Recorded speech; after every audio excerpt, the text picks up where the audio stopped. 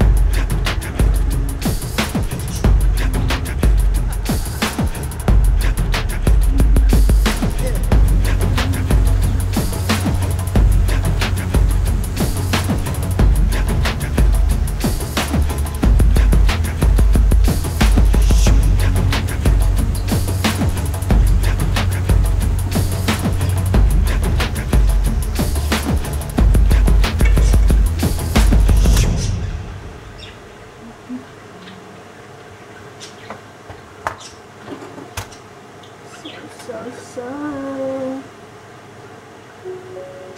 This is the one in soup, guys. This is our soup. So easily and simple.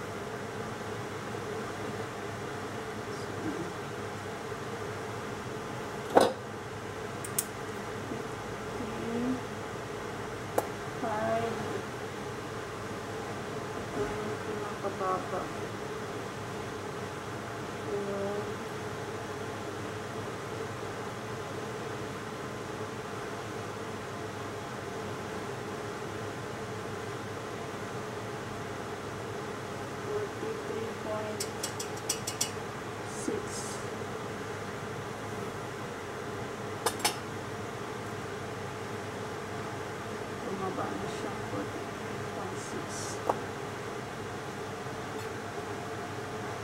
So, ganito siya katagal mag-cool down. So, dapat talaga is ma mahaba yung pasensya.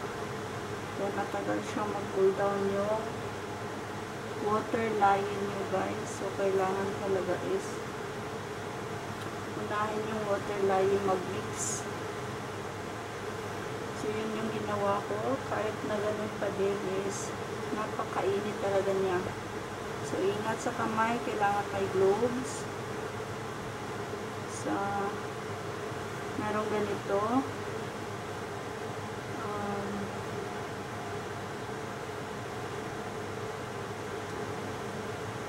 kailangan meron kayong mga utsteer. Bar utsteer po Ingels? Ha? Utsteer? Equipment. Equipment. ano ba yan? Equipment. Utsteer. Ano ba yan? Utsteer. Equipment. Meron kayong mga kagamit kagamitan. Ganon. Sensya na guys, ah. ito yung Pilipina. gumagawa ng sabon dito sa Norway. Kaya yan, merong konting Norst. So, so yung ginawa ko guys is para sa skin ng mga Norwegian kasi napaka-sensitive ng skin nila. So, mild lang yung soap ko. Hindi kaya sa atin na pampaputi, mga ganun-ganun. Pero ito, pang-exfoliate yung coffee, pang-exfoliate. So, nakakaganda ng skin.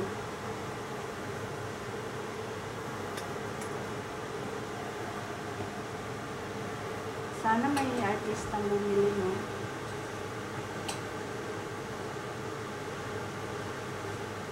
Ayan, napunta na. Ayan na yan.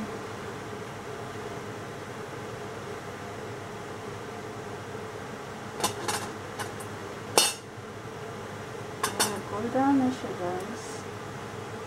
So, pwede yan siya. Pwede lang yung ano. Pagitan nila.